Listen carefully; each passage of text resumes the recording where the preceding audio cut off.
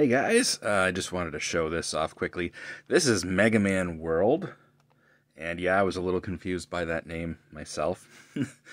because when I saw it, I was like, isn't that just Mega Man for Game Boy?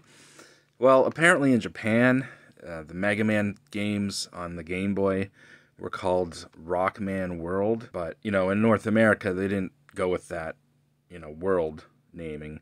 So this was just called Mega Man, uh, Dr. Wily's Revenge uh, in North America.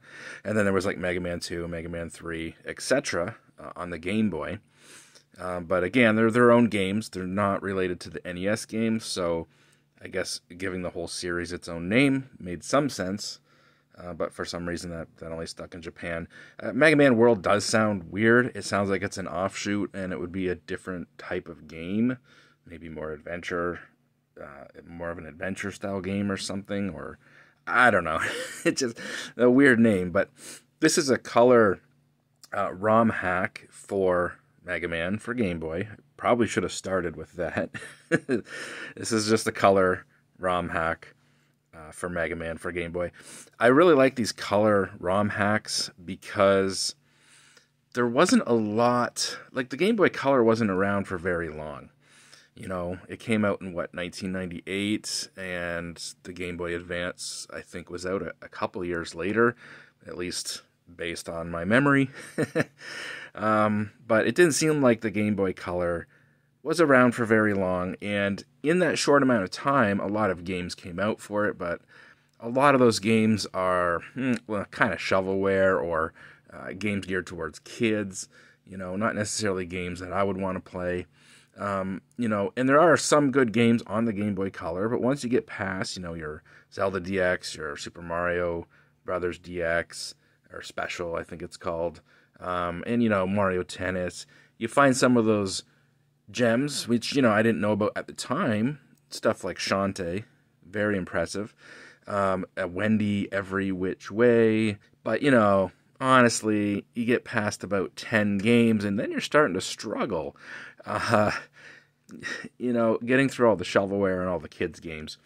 And um, when you consider how long the Game Boy was around for and how many good games came out for the Game Boy, um, as a collector now and as someone who has a modified Game Boy Color, it's great to play. You know, I've shown Mario, uh, Super Mario Land uh, 1 and 2, the color uh, ROM hack for that.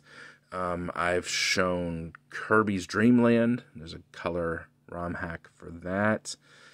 And uh, what else? Well, I, I, that's all off the top of my head. That's all I can think of. But now we have this.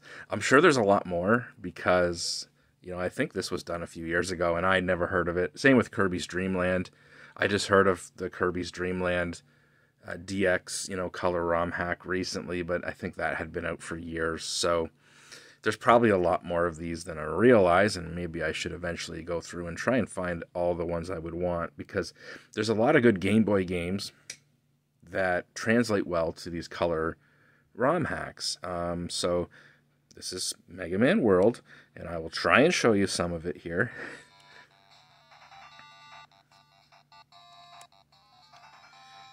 But it's going to be really tricky to play this on camera. I got the phone in front of me, and uh, that what I see on the phone screen, you know, there's a little bit of lag, so I can't really play off that. But you know what? I'll try my best.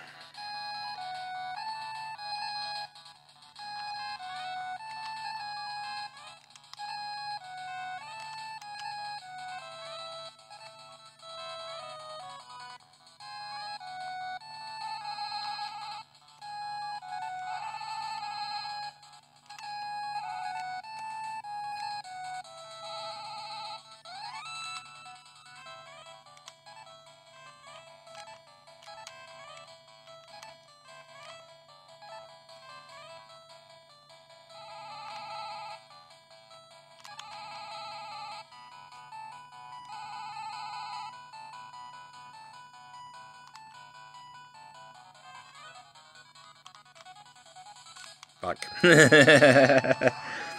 oh.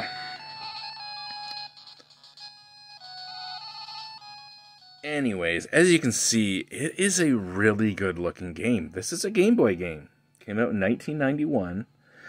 Um, and the color ROM hack is outstanding. This is up there with Super Mario Land 2 is one of the best looking Game Boy Color ROM hacks that I've seen. And the fact that someone can do this to this level of quality, um, this could have been, uh, you know, a, this could have been a Game Boy Color or a four Game Boy Color only release uh, in the late 90s, and it would have been up there with the best, right? Uh, and that's again, that's what I really love about this is it's bringing some excellent games that could have or should have been brought to the Game Boy Color in the late 90s. But again, the system just wasn't around for that long, and um, it's just great to have some some, uh, some more more games to play on a Game Boy Color, especially when you have a modded one and it looks this good. like, yeah, this is just just awesome. So, yeah, I'll have the link in the description for the ROM hacking uh, website with the you know the patch. You'll need to provide your own ROM, but you know what? It wasn't hard to find. I found it on Google in like two seconds. Um, so yeah, there you go. Check this one out. And uh, Game Boy Color ROM hacks of old Game Boy games is just uh, one of my favorite things that uh, the ROM, the the hacking community, if you will, uh, is doing. So, yeah, that's it. Uh, see you guys later.